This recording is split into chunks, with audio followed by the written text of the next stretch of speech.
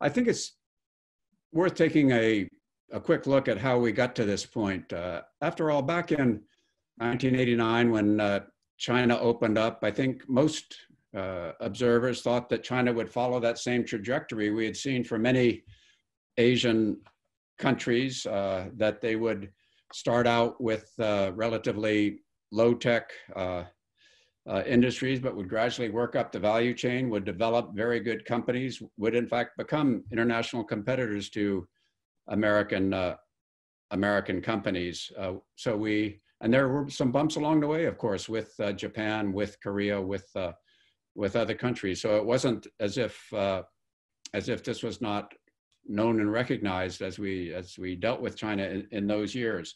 But what what what what were the differences? What why didn't China follow this comfortable uh, course and why are we where we are today? I, I, think the first factor is that the scale of China is just so huge. Um, it, uh, it was hard to comprehend uh, how an economy that big, uh, following basically the same path that other smaller economies had followed, would, would be different. I, I know that 10 years ago, every company executive that I talked with believed that his company simply had to be in the China market to grow. It was a requirement. And as we are learning now, this is probably more of a wish and an ambition than a necessity, but it nonetheless was, was uh, prevalent. And this belief, I think, um, softened strong opposition to Chinese requirements like local partners with majority partnership, transfer of intellectual property, and even toleration of outright IP theft under the policy of indigenous innovation. Uh, I think another factor um, 15 years ago was that the general idea was still that China, as it became more prosperous, would ease off some of its mercantilist pra practices. Some sectors would remain protected as they were in many countries, but many others would be open to foreign companies. Initial regulations to protect domestic companies would, uh, would ease in those sectors. Chinese companies would certainly develop that would be uh, advanced, fierce competitors, but there would be plenty of business to go around. And then finally, I think third assumption I think uh, was that the geopolitical, the security relations between China and the rest of the world would remain uh, relatively, relatively calm and, and quiet.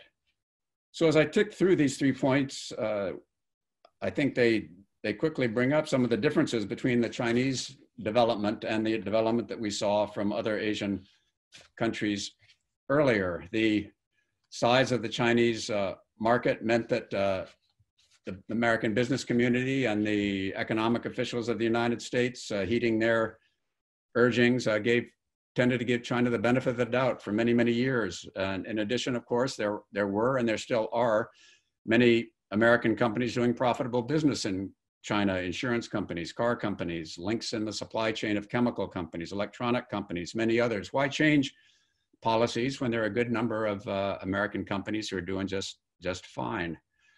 Uh, but the um, this expected favorable change that that was really, I think, built into American expectations of about Chinese policies concerning foreign business have not materialized. In fact, uh, some have gone the wrong direction. Uh, executives of companies I know who felt that they were things were going the right direction are now seeing themselves being pressured in new ways uh, doing business in, in China. And most notably, China's sights have raised in the most advanced and important technologies of the future, and China has decided that it will use uh, all means at its, its, disposal to favor Chinese national champions in these, in these uh, sectors.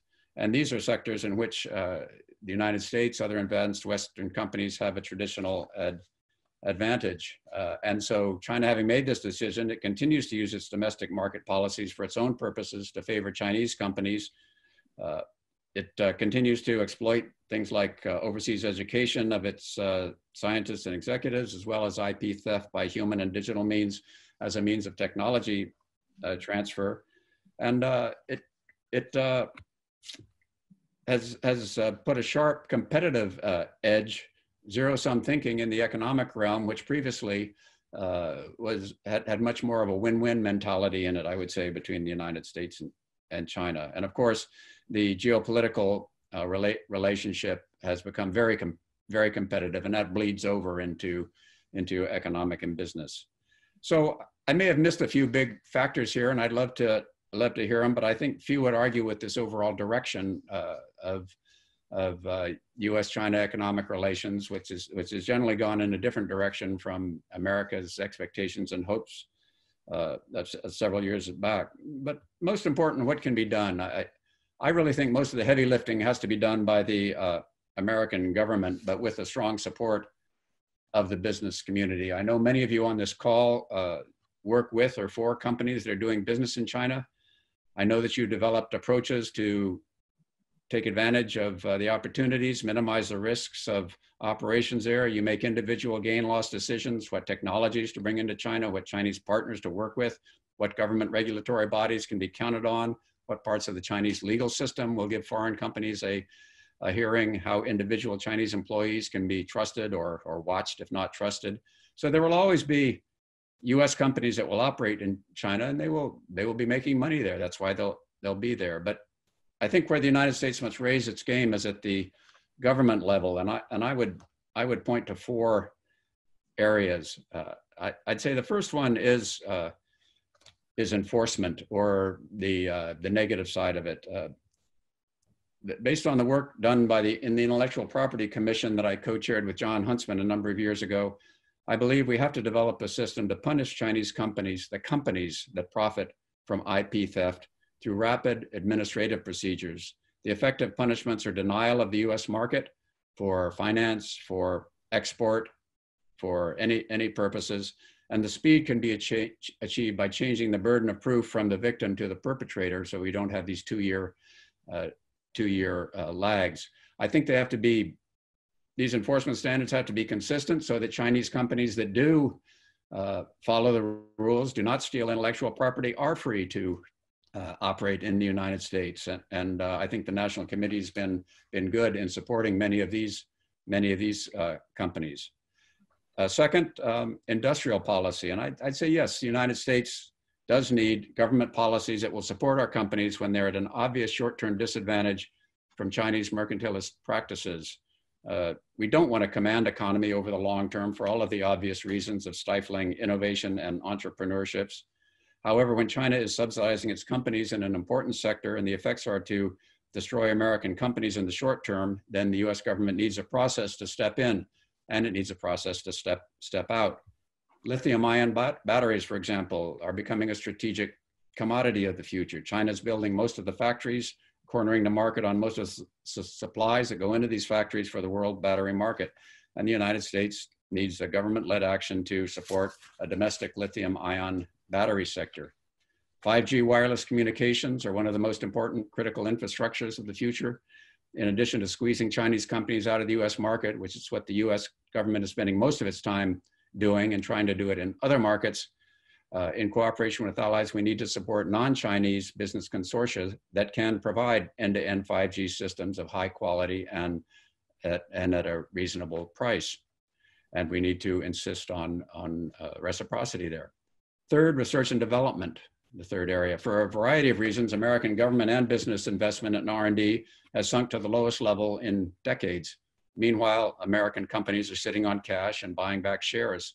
The United States simply must raise its R&D spending. If we can't think of better ideas, we should impose a corporate surcharge and plow it right back into university and laboratory research with publicly available results it must be the United States that comes up with the next generation of energy storage devices beyond lithium ion batteries. It must be the United States that comes up with 6G and 7G uh, technology, and we won't do it if at the current level of R&D spending.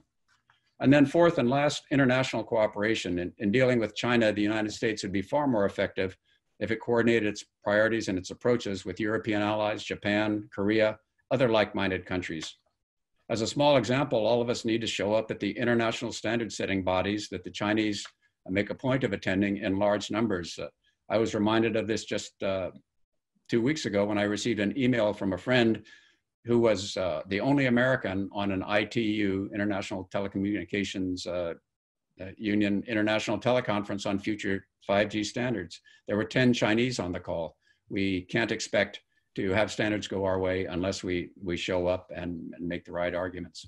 So those would be four things that I would uh, suggest, but I, I, really welcome comments and questions from, uh, from others. And back to you, Steve.